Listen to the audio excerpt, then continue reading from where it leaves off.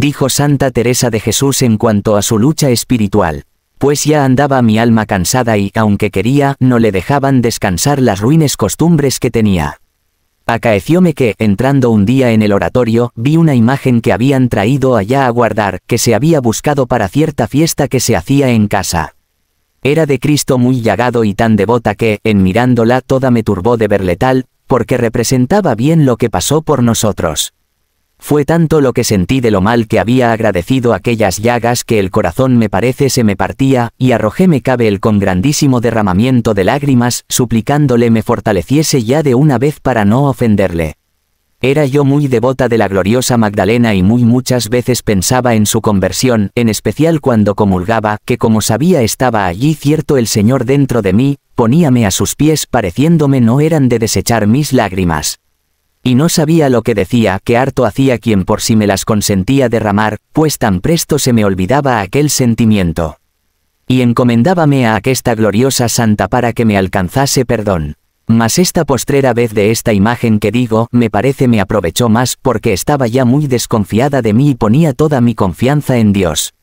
Paréceme le dije entonces que no me había de levantar de allí hasta que hiciese lo que le suplicaba. Creo cierto me aprovechó, porque fui mejorando mucho desde entonces. Tenía este modo de oración, que, como no podía discurrir con el entendimiento, procuraba representar a Cristo dentro de mí, y hallábame mejor a mi parecer de las partes a donde le veía más solo. Parecíame a mí que, estando solo y afligido como persona necesitada me había de admitir a mí. De estas simplicidades tenía muchas. En especial me hallaba muy bien en la oración del huerto. Allí era mi acompañarle. Pensaba en aquel sudor y aflicción que allí había tenido, si podía. Deseaba limpiarle aquel tan penoso sudor. Mas acuérdome que jamás osaba determinarme a hacerlo como se me representaban mis pecados tan graves. Estábame allí lo más que me dejaban mis pensamientos con él porque eran muchos los que me atormentaban. Muchos años, las más noches antes que me durmiese, cuando para dormir me encomendaba a Dios, siempre pensaba un poco en este paso de la oración del huerto, aun desde que no era monja, porque me dijeron se ganaban muchos perdones. Y tengo para mí que por aquí ganó muy mucho mi alma porque comencé a tener oración sin saber qué era, y ya la costumbre tan ordinaria me hacía no dejar esto, como el no dejar de santiguarme para dormir. Pues tornando a lo que decía del tormento que me daban los pensamientos, esto tiene este modo de proceder sin discurso del entendimiento, que el alma ha de estar muy ganada o perdida, digo perdida la consideración. En aprovechando, aprovecha mucho, porque es en amar. Mas para llegar aquí es muy a su costa, salvo a personas que quiere el Señor muy en breve llegarlas a oración de quietud que yo conozco a algunas. Para las que van por aquí es bueno un libro para presto recogerse.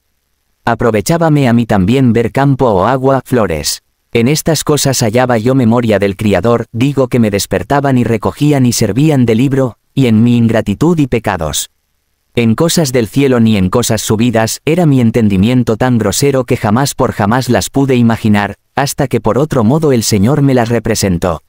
Tenía tan poca habilidad para con el entendimiento representar cosas que si no era lo que veía, no me aprovechaba nada de mi imaginación, como hacen otras personas que pueden hacer representaciones a donde se recogen.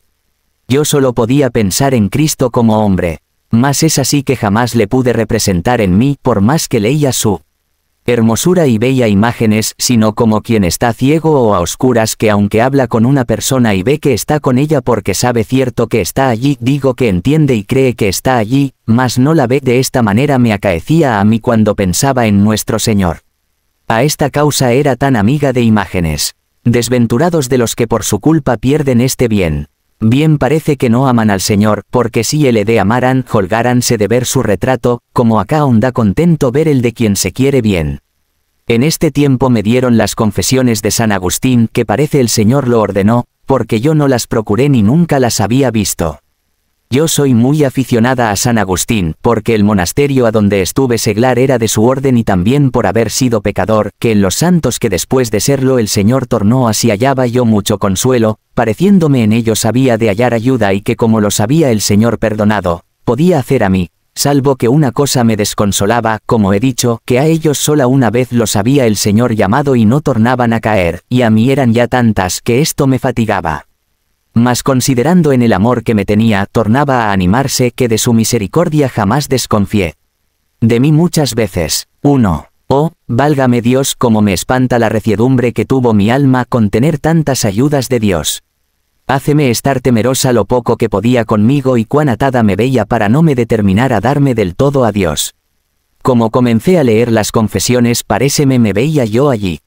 Comencé a encomendarme mucho a este glorioso santo. Cuando llegué a su conversión y leí cómo oyó aquella voz en el huerto, no me parece sino que el Señor me la dio a mí, según sintió mi corazón. Estuve por gran rato que toda me deshacía en lágrimas y entre mí misma con gran aflicción y fatiga. Oh, que sufre un alma, válgame Dios, por perder la libertad que había de tener de ser señora, y qué de tormentos padece. Yo me admiro ahora cómo podía vivir en tanto tormento. Sea Dios alabado que me dio vida para salir de muerte tan mortal. Paréceme que ganó grandes fuerzas mi alma de la divina majestad y que debía oír mis clamores y haber lástima de tantas lágrimas. Comenzóme a crecer la afición de estar más tiempo con él y a quitarme de los ojos las ocasiones porque, quitadas, luego me volvía a amar a su majestad, que bien entendía yo, a mi parecer, le amaba, mas no entendía en qué está el amar de veras a Dios como lo había de entender. No me parece acababa yo de disponerme a quererle servir cuando su majestad me comenzaba a tornar a regalar. No parece sino que lo que otros procuran con gran trabajo adquirir, granjeaba el Señor conmigo que yo lo quisiese recibir, que era ya en estos postreros años darme gustos y regalos. Suplicar yo me los diese, ni ternura de devoción, jamás a ello me atreví, solo le pedía me diese gracia para que no le ofendiese, y me perdonase mis grandes pecados. Como los veía tan grandes, aun desear regalos ni gustos nunca de advertencia osaba.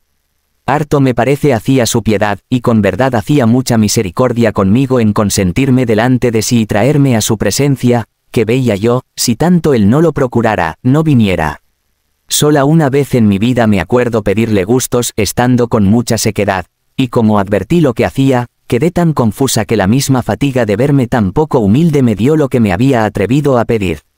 Bien sabía yo era lícito pedirla, más parecíame a mí que lo es a los que están dispuestos con haber procurado lo que es verdadera devoción con todas sus fuerzas, que es no ofender a Dios y estar dispuestos y determinados para todo bien. Parecíame que aquellas mis lágrimas eran mujeriles y sin fuerza, pues no alcanzaba con ellas lo que deseaba. Pues con todo, creo me valieron, porque, como digo, en especial después de estas dos veces de tan gran compunción de ellas y fatiga de mi corazón, comencé más a darme a oración y a tratar menos en cosas que me dañasen, aunque aún no las dejaba del todo, sino como digo fueme ayudando Dios a desviarme. Como no estaba su majestad esperando sino algún aparejo en mí, fueron creciendo las mercedes espirituales de la manera que diré, cosa no usada darlas el Señor, sino a los que están en más limpieza de conciencia.